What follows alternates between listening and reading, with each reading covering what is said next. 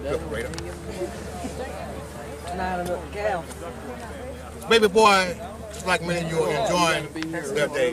Y'all pay attention to me. Don't make me have to run my voice while y'all trying to talk while I'm talking.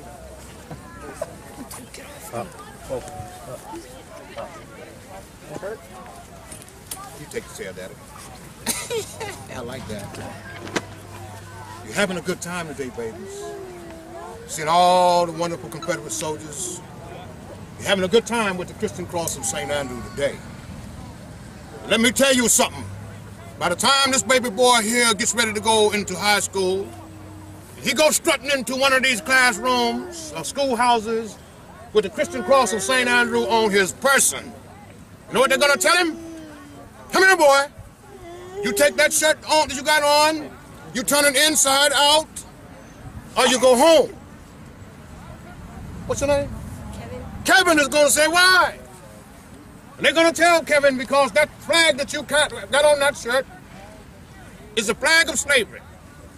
They're gonna go on to tell him that the NAACP, the oldest civil rights organization in the country, in a resolution in the mid 80s, said that this flag, the Confederate battle flag, of course this is the naval jack, is an evil, demonic, odious blight on the universe and need to be getting rid of. No. What do you think Kevin gonna feel like when he goes strutting in the classroom, the schoolhouse that day, and they tell him to take this off? He gonna remember this day. He gonna remember. Y'all take that conversation over a little bit further, man. Excuse me, man. Y'all move y'all conversation over. I can't think. Y'all making all that noise behind me. well, I like these stripes, y'all. Kevin won't understand that. Here I was. Don't you cane me, Kevin. The president of the NAACP at a national convention. And these folks were sitting around. First of all, when I looked up and saw all these white men up there, I thought to myself, my God, I thought this was a black run organization. And all the black folks are standing around wringing their hands. So what we gonna do? We're getting ready to go broke. We don't have any money. And one of my northern white folk friends got up and said, hey, wait a minute. We got plenty of money around here. But we need for you to do something for us. We're tired of sending our babies down south to places like Ole Miss, listening to that band playing Dixie. I wish I was in the land of cotton, old time there and not forgotten. We're tired of sending our corporate workers down south looking at that rebel flag. Now, as southern white men, I mean, as northern white men, we can't go down south and attack that flag. All you have to do is just go down south and say slavery. And those black folks down there don't know anything about the war between the states. And they certainly don't know anything about themselves. They'll get right in line. So, baby girl, get your pretty self here and let me hug you some, because I done ran out of gas. I got my gas back now. I feel much better. Thank you, baby. I'm ready now. So they went in this room and came back with this resolution that said that the Christian cross of St. Andrew was an evil, odious, blight on the universe. And that black folks had no, no, no, no dealings in this inception. And that it need to be getting rid of. I can't tell you, baby girl, I don't have much hair on my head, but it stood straight up. My mama was the only black woman to ever receive a Confederate state funeral. Can I get an amen? Amen. Say, I'm proud of that. She was still alive at the time. And you know, you know, I don't know how my mama knew about this resolution before I got home. And you, just like it was when I was a baby boy, baby boy. You go home and you do something bad up the street. And when you get home, mama be standing at the door with the switch. And we didn't have a telephone. I'm thinking myself, how did my mama know that? But she knew. And she told me, boy, if you want to remain president of the NAACP, you take that resolution and throw it in the trash can. Because that's a Christian symbol. And she reminded me of 69 AD in a place called Peosa, Greece. There he was, the first apostle of Jesus Christ, Andrew, round there praying, Our Father who art in heaven, hallowed be thy name, he said. And all Russian persecutor come up to him and say, boy, come here. We ain't gonna have that round here. We ain't gonna have you round here preaching about your master Jesus Christ. You keep that preaching up, we're gonna nail you to the cross like we did Jesus. And Andrew said, I'm not worthy. I'm not worthy to be nailed to the cross like Jesus, but I'm gonna keep praying. So if you gotta put me up on that cross, just put me up there in the form of an X, just tie me up. They tied him up. For three days, that old man kept preaching. Yea, do I walk through the valley of the shadow of death, he said, I shall fear no evil. Art with me. And after three days, Andrew, as he got feeble and he could barely hear, all those folks gathered around and said, take that old man down. So they took that old persecutor, took Andrew down. And Andrew fell on the ground and died.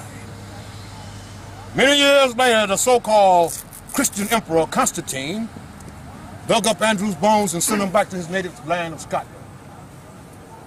That X, while this is not the Scottish flag, it's a derivation, derivation of it. In battle, when the war between the states started, the very first battle, the stars and bars was flying, looked just like the stars and stripes. They call us the stars and bars, baby, but it's not. The stars and bars looked like the stars and stripes. So the men couldn't determine who was the federal soldiers and who were the Confederate soldiers. So they decided they had needed to have another flag. And when Miles and the men chose this flag, they knew it was a Christian symbol, but it was Andrew's flag. So when the NAACP called my Christian symbol evil and odious blight on the universe, I knew it was time for me to go. When I got home, my mama told me, boy, put that resolution in the trash can where it belonged. And that's where it was. I think it's still around there. They will tell you, babies, that black folks had no part with this flag. Trained cadre of black folks on plantations all across the Southland of America. I mean, all the implements of war, all the cannons that you see, the uniforms that these men have on, the bullets, the gunpowder, right along beside your grandpas and grandmas, black folks went out to war with a man that he not only called master, but a man he called family and friend. Earned a place of honor and dignity. That flag is as much of any black man in the South who wanted to pick it up as any white man. Because he earned that place of honor and dignity. Most of you babies go to the public school system and in February, you have so-called Black History Month. I don't call it Black History Month anymore, baby boy. I call it beat up on the white folks in the South month. That's what it is. All you see is black folks being hung, Bull Connors out with the dogs, spraying folks. That was all about states' rights, baby. Not because Bull Connors hated black folks, but Bull Connors and George Wallace. That must have been a how much time I got? Three minutes. Thank you, sir. Keep reminding me. Y'all know y'all say I run my mouth too much around here. I love you. Baby girl. Black folks hated this flag, you know. I got to brag a little bit. Back in 2002, walking 20 miles a day, six days a week, dressed and donned in the uniform of the Southern soldier. I carried that flag 1,600 miles from Asheville, North Carolina to Austin, Texas.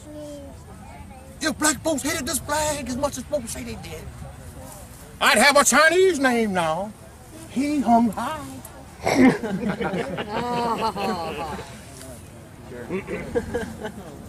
you must understand, if Abraham Lincoln truly cared about the slaves, truly cared about our freedom, he would have never agreed and walked around with that thing called a Corwin Amendment in his hands. Don't your babies ever forget the Corwin Amendment. The Corwin Amendment. Are you tired of me already, baby boy? You better go to your mama. You just realized that you was with a handsome man. You read my mind. You read my mind when I said I was looking better than you. Go back to your mama. just finally realized that I was with that old handsome man. Give me a hug. You I love you, boy. You must be around here eyeballing my women. That's why you mad at me. Baby boy.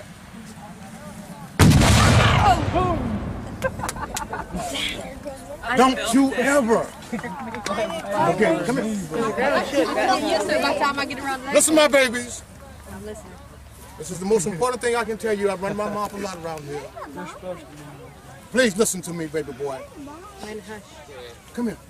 Come here. Bring your handsome self here. I don't want you babies to ever forget this.